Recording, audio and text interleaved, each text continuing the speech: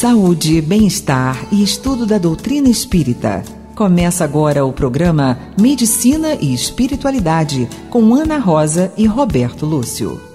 Olá, caros amigos, caros ouvintes que nos acompanham na Rádio Rio de Janeiro. Está entrando no ar o programa Medicina e Espiritualidade. Eu sou Roberto Lúcio e estou aqui com a doutora Ana Rosa. Tudo bem, Ana Rosa? Tudo bem, Roberto? Como é que você está? Como é que estão os nossos ouvintes?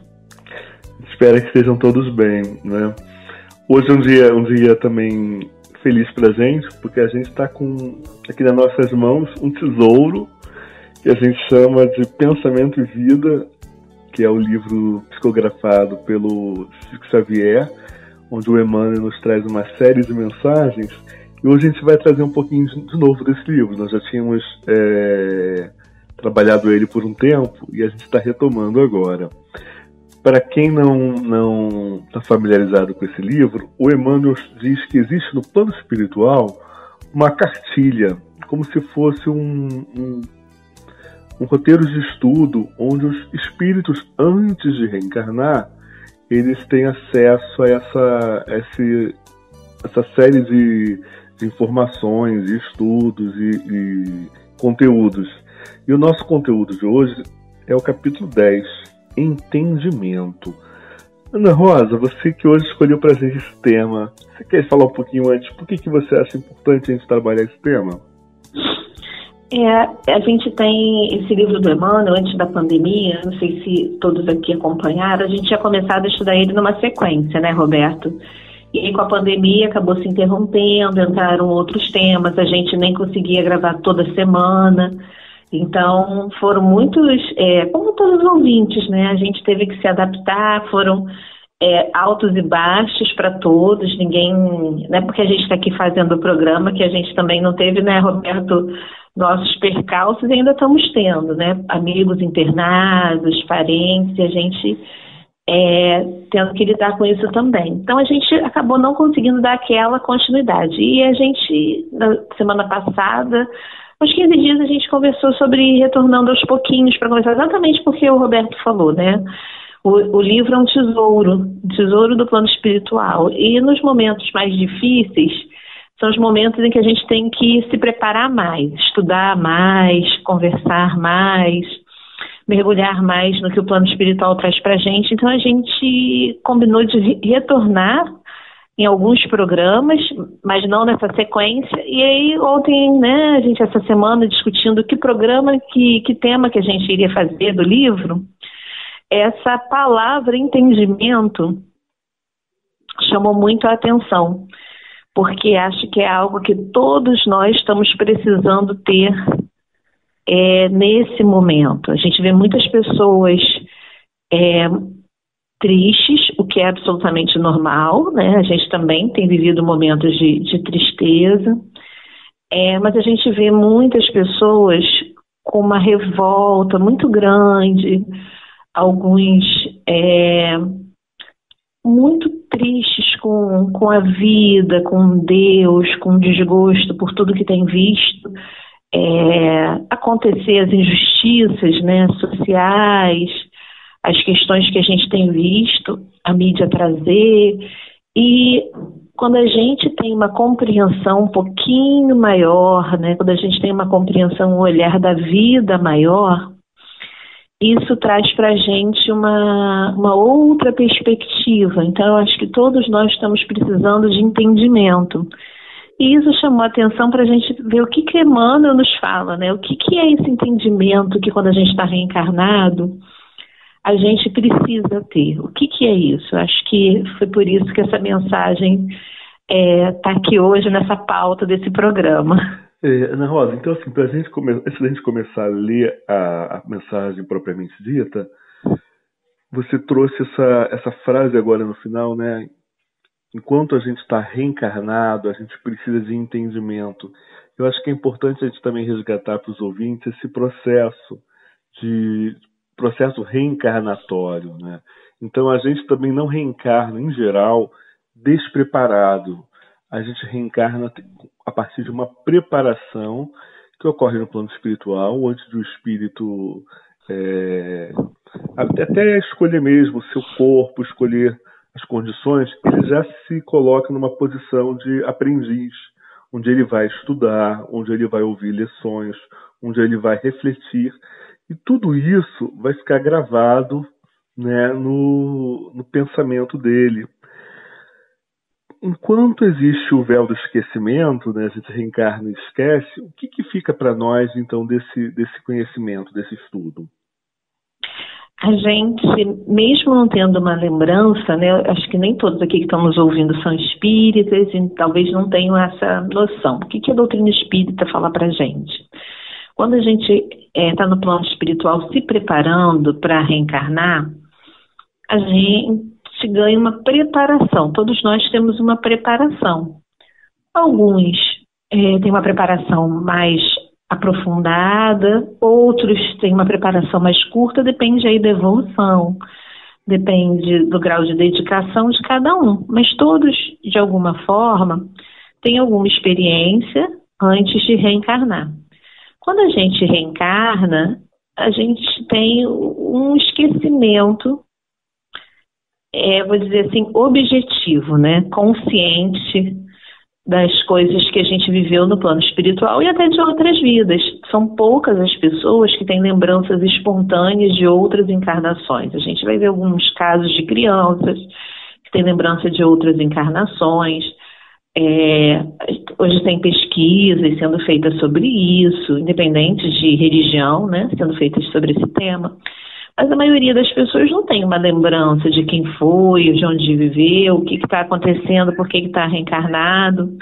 Mas a gente tem lá na nossa consciência, lá na nossa consciência, as, é, digamos assim, o que, que a gente programou melhorar, o que, que a gente programou aprender, que, que a gente se comprometeu, o que a gente ia realizar. Então, assim, a gente se compromete a se dedicar a uma determinada causa ou uma determinada profissão, a gente se, se compromete a ser um bom pai, uma boa mãe, um bom filho, né? A gente se compromete a ser menos egoísta. Cada um tem o seu compromisso de acordo com o que precisa aprender, o que é preciso evoluir. Então, esse compromisso e o que a gente estudou lá no plano espiritual, o que a gente aprendeu em outras vidas, não fica totalmente esquecido, fica lá na nossa consciência, como que se fosse assim uma, uma ideiazinha que por trás vai guiando a gente. Então a gente às vezes escolhe uma profissão, às vezes a gente escolhe é, uma, um trabalho voluntário. A gente, no nosso dia a dia, sente uma tendência à música, à arte, ou ao contato com a natureza, proteger a natureza. E aí cada um tem. Então isso fica lá, a gente não esquece totalmente, só não fica consciente.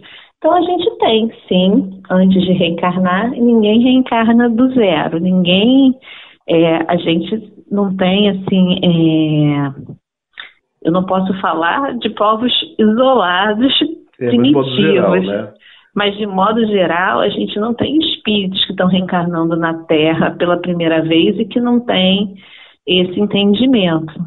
Então, é preciso que a gente, é, durante a prece, durante o momento de reflexões, em que estamos assim passando por determinadas situações, busque também no fundo do, da consciência essa preparação que nos foi dada, né, para que a gente possa lidar com determinados desafios, porque algum estudo, algum conhecimento a gente tem latente que vai nos ajudar, né. Então, a mensagem entendimento, ela começa dizendo o seguinte: Olha, Ana Rosa, eu vou lendo aqui. Se você achar que já pode interromper, você me interrompe, não tem problema não. Uhum. O cultivador do campo não prescinde do arado com que sucará o corpo da gleba. O estatutário recorrerá ao buril para afeiçoar o mármore à ideia criadora que lhe inflama a cabeça. A criatura interessada na produção de reflexos mentais protetores de sua senda não dispensará o entendimento por alicerce do trabalho inovador. Entendimento que simbolize fraternidade operante, simpatia que se converta em fulcro de força atrativa, exteriorizando-nos a melhor parte, para que a melhor parte dos outros se exteriorize ao nosso encontro. Todos somos compulsoriamente envolvidos na onda mental que emitimos de nós em regime de circuito natural. Eu acho que já está bom, Roberto, para a gente falar, né? É só isso aqui já dá, dá dois, três programas. então, assim, ele começa né, trazendo as exemplos. Emmanuel sempre é muito feliz no, nos exemplos dele, né? De profissões e ferramentas, e instrumentos, né? O cultivador, o arado, a pessoa que produz estátuas, né? Ele precisa do buril para trabalhar o mármore. E aí ele diz, né? A criatura interessada na produção de reflexos mentais protetores. Então, o, a criatura interessada em criar uma, uma rede de proteção a partir dos pensamentos protetores, a partir das projeções protetoras, ele não vai dispensar do entendimento. Olha, é uma, eu diria assim que é uma frase, é um conhecimento até muito avançado do Emmanuel, né? É um, hoje a gente está tendo um estudo mais avançado, não é um estudo do, que a gente tem, por exemplo, no, nos princípios básicos, a gente tem no, nos, nos, módulos iniciais quando a gente ingressa numa casa espírita, né, Ana Rosa? É, a gente, é, quando a gente ingressa, e a gente recomenda quem estiver aqui ouvindo a gente, que não tem ainda um contato mais aprofundado com a doutrina espírita, que leia o livro dos Espíritos, que leia o Evangelho segundo o Espiritismo, e que procure. A gente tem o site da FEB, da Federação Espírita Brasileira, a gente tem aqui na Rádio Rio de Janeiro, no site tem a gravação de vários programas. A gente tem o YouTube, né, do de Conselho Espírita do Estado do Rio de Janeiro, e da FEB também, onde tem programas explicando a doutrina espírita. Programas sobre reencarnação, programas sobre mediunidade, vários, vários programas para que a pessoa possa se aprofundar. Mas o Emmanuel, ele vem numa mensagem tão simples, dar a chave para a gente da gente viver bem. Né? A gente vem falando sobre saúde, a gente fala sobre o impacto da espiritualidade na nossa saúde, e a gente vai ver o seguinte, que se você não, não muda a sua esfera mental, se você não muda o que está ao seu redor, se você não muda um pouco a sua maneira de pensar e de encarar, né? Algumas pessoas podem chamar isso de mindset, uma palavra bonita para dizer o modo como você pensa, o modo como você encara a vida. É, se você não tem um mindset positivo perante a vida, um mindset de rever, de colocar para frente, de, de enfrentar, a gente pode chamar também de coping. Né? Coping são as estratégias para lidar com os problemas. Então, se a gente tem um coping positivo, se a gente consegue reunir forças para poder enfrentar o problema. Enfrentar, às vezes, pode ser só fazer uma prece. Né? Enfrentar não significa fazer uma guerra. Enfrentar é fazer, pode ser fazer uma prece, pode ser fazer a terapia, enfrentar pode ser ligar para um amigo para desabafar. Então, são estratégias que a gente tem. Quando a gente tem essas estratégias positivas, a gente consegue é, ter um melhor desfecho clínico, a gente consegue ter uma resposta melhor aos tratamentos e à medicação. Então, Emmanuel vem falando exatamente sobre isso. É, deixa eu ver aqui, que ele botou, todos somos compulsoriamente envolvidos na onda mental que emitimos de nós, em regime de circuito natural. Tudo que a gente exterioriza é o que fica ao nosso redor, e isso é obrigatório. Então, se a gente tem uma maneira de encarar a vida mais positiva, se a gente tem dificuldades, mas está buscando caminhos para tentar resolvê-la, se a gente tem um processo de aceitação daquilo que materialmente a gente não pode mudar, mas que a gente sabe, isso eu acho que entra no entendimento, né? quando a gente sabe que a gente pode, através da oração, através da meditação, através de uma boa ação, melhorar a energia, é, sintonizar com o plano espiritual superior, isso muda, que a gente fala assim, que a gente é obrigado a conviver com o que a gente emite. Então a gente vai emitir coisas melhores para ser, entre aspas, obrigado a viver num ambiente espiritual melhor, né, Roberto? A gente vive mergulhado, né, numa, numa série de ondas, ondas que a gente recebe, ondas que a gente produz mas principalmente naquelas que a gente produz, porque ali a gente não pode é, escapar. Né? A gente pode fugir do outro, até determinadas limitações, mas a gente não pode fugir de nós mesmos. Né? Então nós estamos mergulhados intensamente em nós mesmos. O que, que nós estamos produzindo de, de vibração? Então é muito importante que o ouvinte pense, né? nós também estamos refletindo sobre isso, porque a gente, normalmente, como a Rosa falou, né, a gente precisa enfrentar situações. E aí, nesse momento que a gente precisa enfrentar, momento de dificuldade, aí a gente até busca um evangelho, busca fazer uma prece, uma leitura. Mas se a gente, diariamente, normalmente, a gente já tiver esse hábito de produzir ondas mentais, produzir vibrações, produzir sentimentos benéficos, nós somos os primeiros a estarmos protegidos, a estarmos envolvidos nesse bem-estar que já vai nos causar desde antes. Né? E aí o Emmanuel ele vem agora com um parágrafo que ele vai dar para a gente um, uma explicação. Ele começa dizendo o seguinte: categorizamos-nos, bons ou maus, conforme o uso de nossos sentimentos e pensamentos, que no fundo constituem cargas de energia eletromagnéticas com as quais ferimos ou acalentamos, ajudamos ou prejudicamos, vitalizamos ou destruímos e que voltam, invariavelmente, a nós mesmos, impregnadas dos recursos felizes ou infelizes que lhes marcamos a rota. Então ele traz aqui, destaca bastante a questão do sentimento e do pensamento, que podem ser categorizados, ele dá assim, uma generalizada, como bons ou maus. Então, esses pensamentos bons ou maus, eles vão ferir ou vão acalentar, vão cuidar, eles vão ajudar ou vão prejudicar, eles vão destruir ou vão vitalizar. Então, assim, é muito forte, né, Ana Rosa? A gente pensar, por exemplo, que um pensamento, que um sentimento pode vitalizar, pode fortalecer, pode nos dar não é verdade? Interessante, né, que a gente. Esse é o ponto de vista é, materialista, né, que a gente tem, né, de que um pensamento, um sentimento são coisas é, bobas, né, que não têm energia, que não têm força. às vezes a gente até acredita, é capaz de acreditar, vamos dizer assim, é, que um pensamento ruim pode nos atingir. A cultura popular fala da inveja, do olho grande, né? Colocou um olho grande, da planta, o olhar de seca pimenteira. Então, a cultura popular, ela de alguma forma já identifica que essas energias, esses pensamentos existem.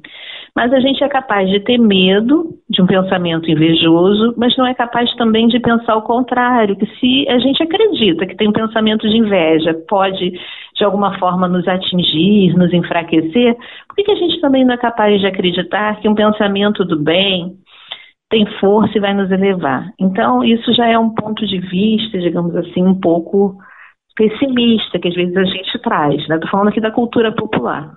Mas Hoje a gente vê os cientistas é, trabalhando muito, né? A gente tem a questão da física quântica, que eu não vou entrar aqui nesse mérito do programa, mas eu e Roberto a gente uhum. conversa muito sobre isso, lê muito sobre isso, porque é uma maneira diferente de entender o funcionamento da, da realidade, da matéria.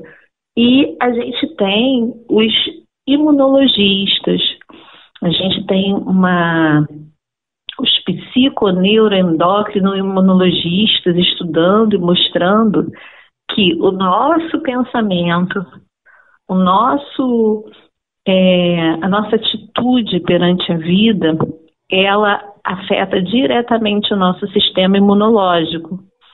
e o nosso sistema imunológico ele dá uma resposta ao nosso cérebro. Então, a gente, se a gente tem uma atitude mental positiva, a gente está fortalecendo o nosso sistema imunológico. Se a gente tem uma atitude mental muito pessimista ou com níveis de estresse muito alto, a gente está prejudicando o nosso sistema imunológico.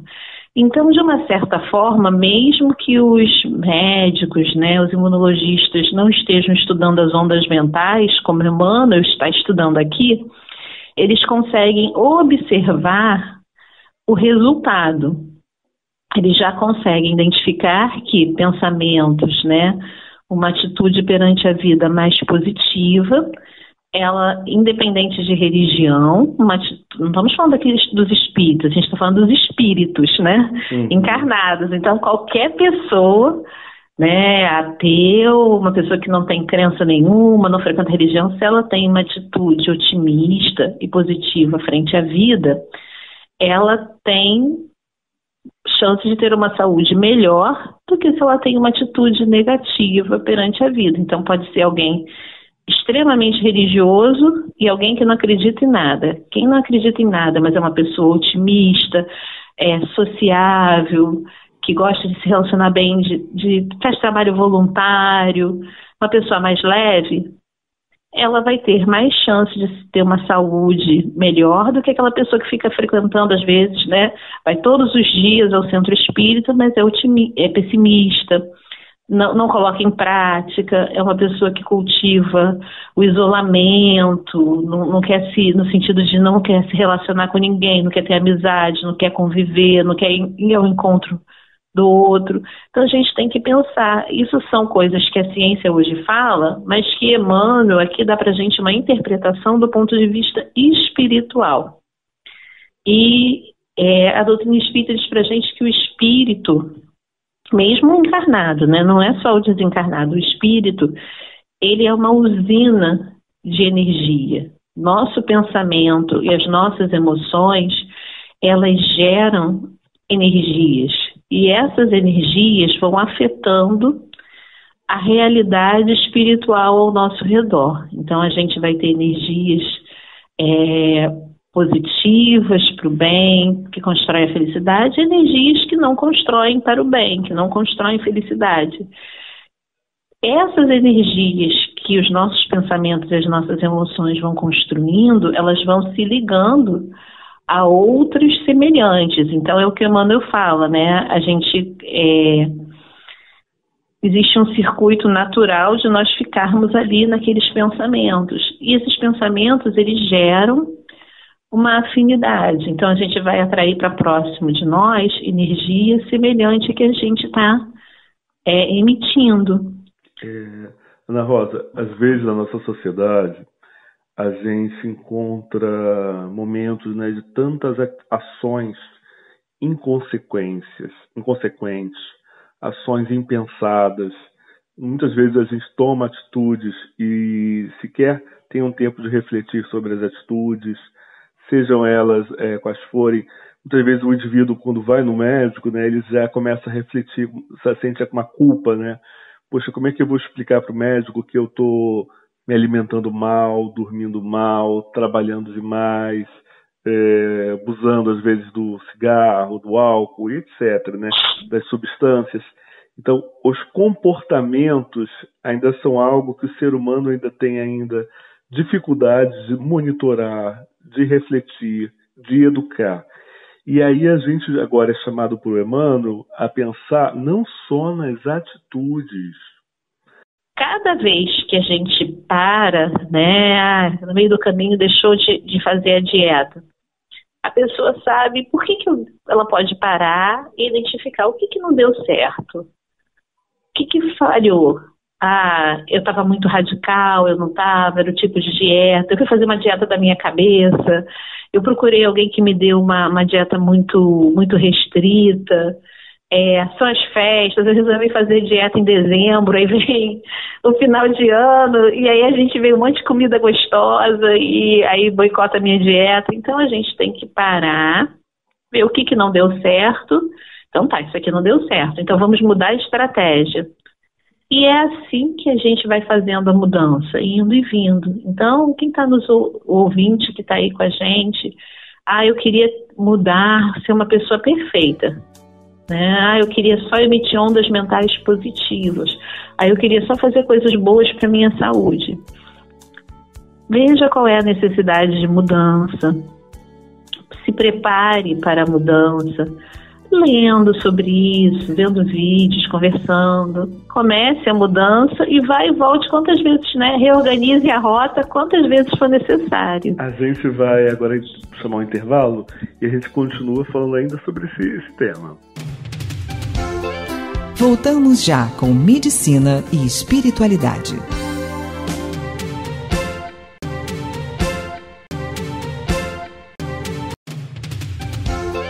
Estamos de volta. Medicina e espiritualidade.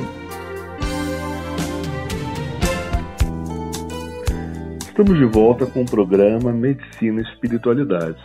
Hoje nós estamos lendo e estudando aqui a mensagem Entendimento do livro Pensamento e Vida de Emmanuel, psicografado por Francisco Cândido Xavier. A gente optou aqui por não ler a mensagem completa, né, Ana Rosa, para que a gente possa discutir um pouco mais sobre ela mas a gente é, pode retornar essa mensagem numa outra ocasião e estimula os ouvintes que adquiram um livro, que busquem também estudar para conhecer e tirar também suas próprias reflexões.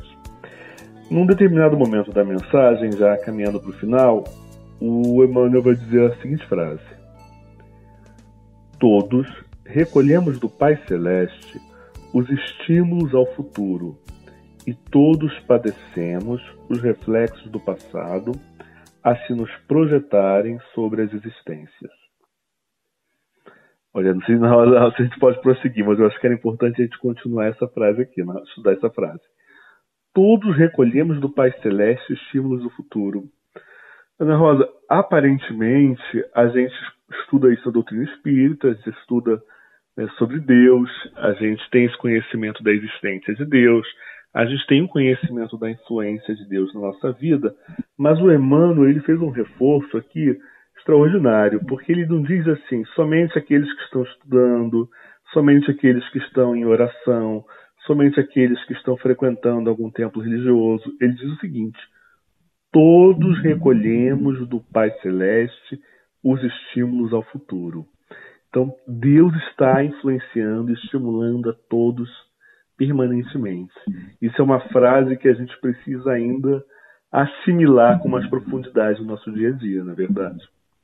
É, e a gente se colocar nessa posição, né, de que todos incluem a gente, então a gente também está sob essa chuva de estímulos que Deus envia para todos os seus filhos e também dá ao outro a chance de estar também sobre essa chuva, porque não existe ninguém que esteja órfão da bondade divina, ninguém.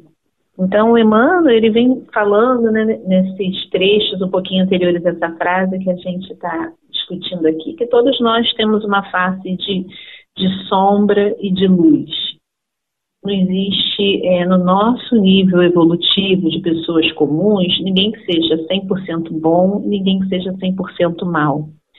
E à medida que a gente vai evoluindo, a gente vai podendo lidar com essa parte, é, digamos assim, sombria, no sentido de, de ainda é, egoísta, ainda materialista que existe em nós, e a gente vai trabalhando isso e iluminando o que está é, escondido dentro da gente, podendo melhorar.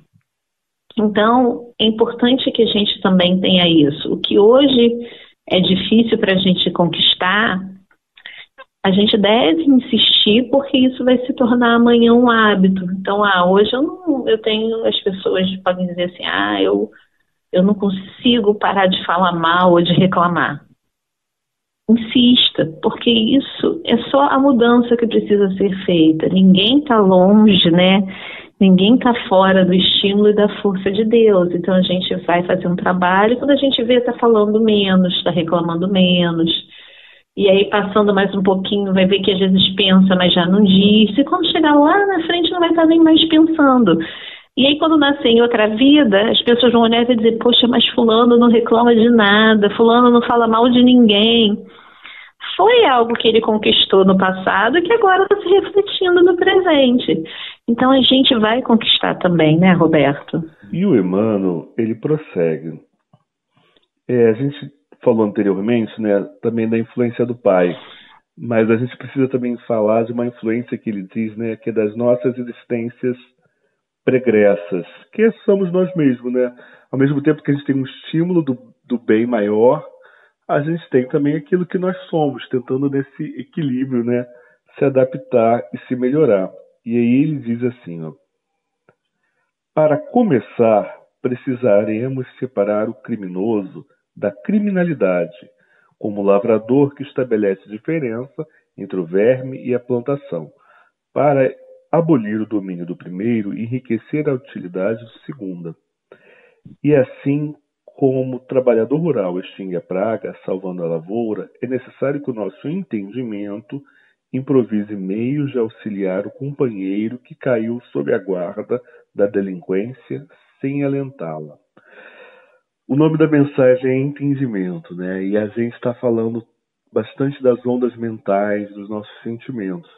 Mas ele vem traçando todo esse, esse, esse conhecimento anterior para que a gente possa refletir sobre as nossas relações, como é que a gente está trabalhando com o outro. Será que a gente já chega com pensamentos de reprovação, de discriminação, como a Ana Rosa falou do próprio paciente, do médico, né? Pensamentos acolhedores, pensamentos de estímulo, pensamentos de entendimento, né, Ana Rosa? É, e assim, Emmanuel vem construindo isso. Primeiro ele fala o seguinte, que todos nós estamos mergulhados nas ondas mentais que criamos. Depois ele fala que todos nós recebemos estímulos de Deus, ninguém está sozinho. Depois ele fala para a gente ver que a gente tem um lado de sombra, um lado de luz e que a gente precisa se esforçar para desenvolver o nosso lado luminoso e que isso é natural, faz parte do nosso estágio evolutivo ter essas duas faces e que a gente tem que tomar a decisão de desenvolver a nossa luz.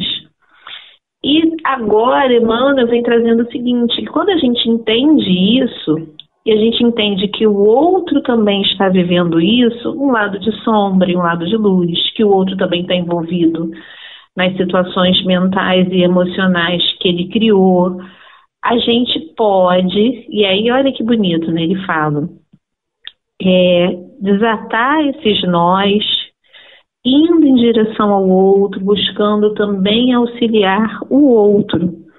Ele fala, né, tem uma frase que ele diz assim: é apequenar-se para ajudar sem perder a altura, é assegurar a melhoria de todos, acentuando a própria sublimação.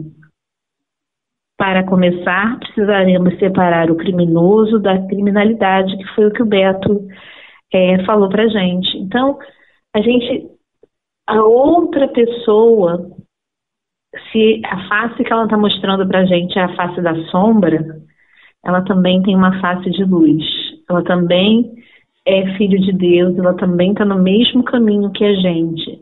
Então, a gente ir ao encontro do outro, né? O Emmanuel fala que não é se contaminar com os problemas, com as questões que o outro traz, mas é poder estar aberto a ajudar naquilo que for possível. Isso é muito bonito, né, Roberto? Muito bonito. É, uma vez eu estava assistindo uma palestra do Divaldo em que ele dizia sobre o trabalho de pessoas do presídio. Uhum. que aqueles criminosos que cometem os crimes que a gente considera assim, né, é, é, sangue frio, que a gente considera pessoas muito é, irrecuperáveis, e que no dia de visita os próprios carcereiros percebiam, né, uma mudança de humor, uma mudança de sentimento, porque eles iriam encontrar pessoas a quem eles amavam. Então é exatamente isso, né? Todos nós temos a nossa melhor parte e ela se manifesta em alguns momentos, né? E a gente precisa fazer esse exercício de buscar enxergar a melhor parte do outro, despertar a melhor parte do outro e também buscar mostrar né, e vivenciar a nossa melhor parte. A gente já está caminhando aqui para o final e a Ana Rosa vai reservar para a gente uma mais ou menos uma meditação, alguma coisa que trabalhe essa questão também do, do pensamento, né, Ana Rosa? Isso, para a gente trabalhar o nosso sentimento, o nosso pensamento.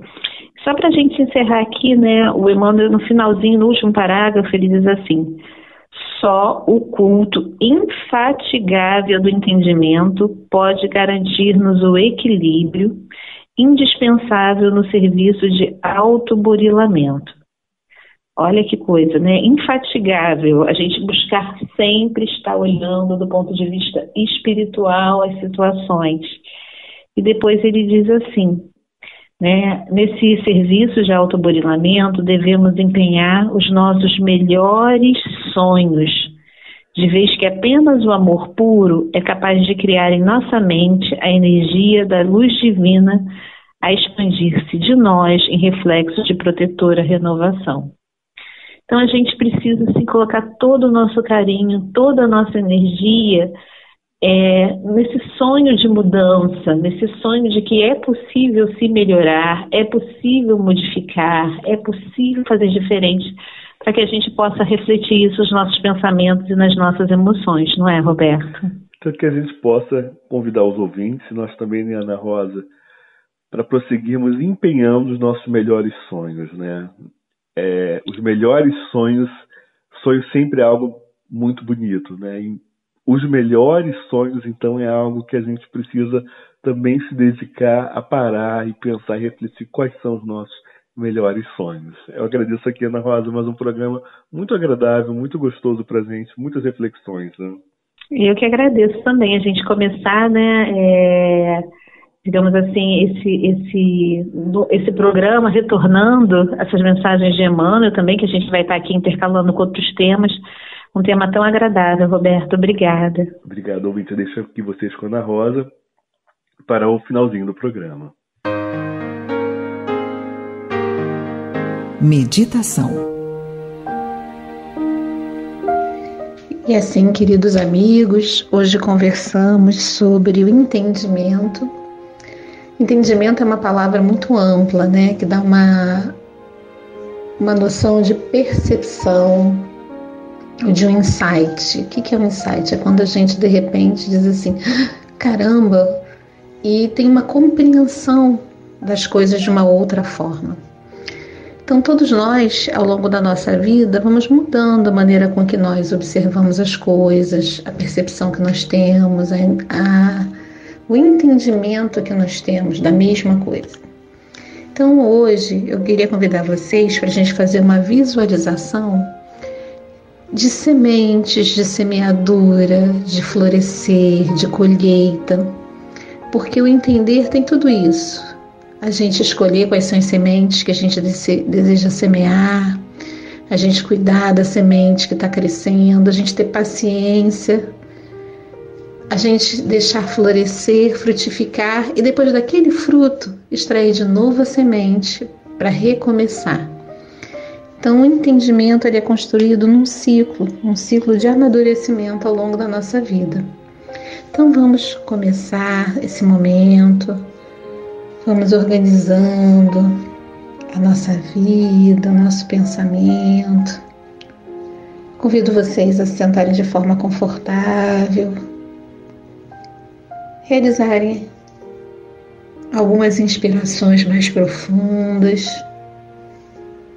mas sempre damos um aviso que se você estiver fazendo alguma tarefa que exige sua atenção, como por exemplo dirigir, não se concentre muito, mas escute mais tarde esse exercício. Se você puder, dar uma paradinha nos seus outros afazeres, desligar possíveis distrações e se concentrar aqui. São poucos minutos, mas que podem valer muito no seu tempo interior. Alguns minutos para semear.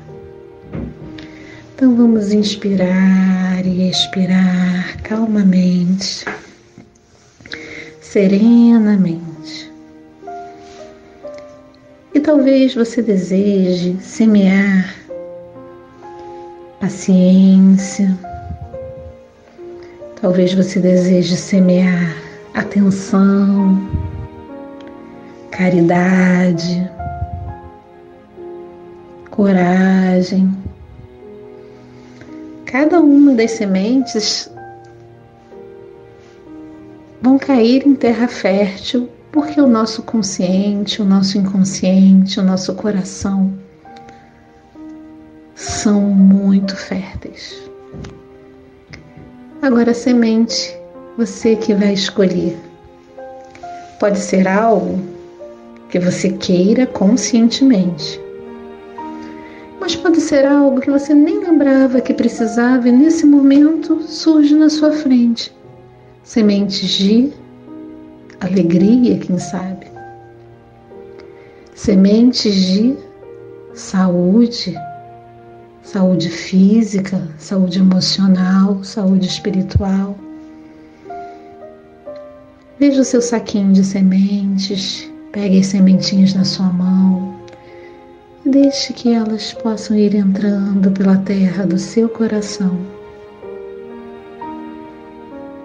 Com muito carinho, vamos regar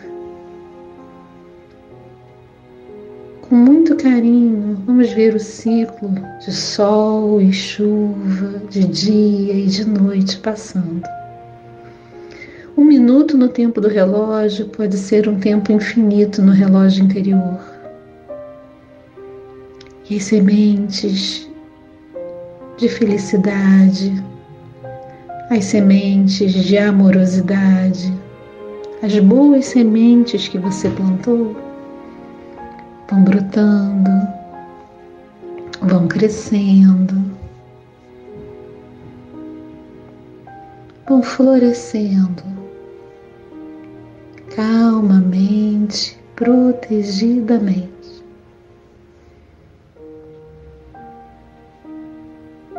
As flores vão se transformando em frutos. E você colhe o fruto e você se alimenta do fruto. E lá do interior do fruto, a semente. À medida que você se alimenta desse fruto, aquilo que você buscava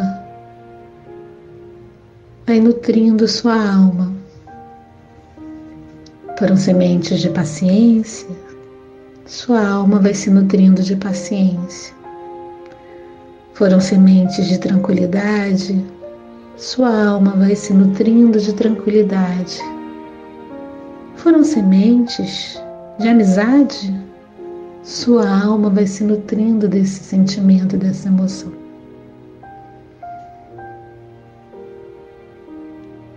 De alma nutrida, você pode seguir sua caminhada Escolha outro espaço do terreno que ainda precise ser arado. Prepare a terra com carinho e lance as sementes. Sementes do fruto e sementes novas. E calmamente, serenamente, Deus vai nos ajudando nesse semear, nesse colher, nesse nutrir nesse semear, nesse colher, nesse nutrir da boa semente em nossos corações. Respire fundo. Olhe a terra brotando.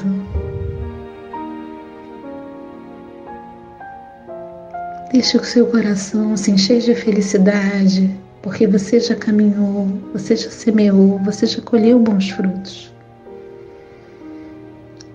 Se no passado a colheita não foi boa, não importa. Hoje é tempo de semear novamente, de começar de novo e quantas vezes forem necessárias. Eu convido você a imaginar agora uma cesta cheia de bons frutos. Ofereça um desses para alguém que você ama, para alguém que você acha que precise. Compartilhe a sua colheita.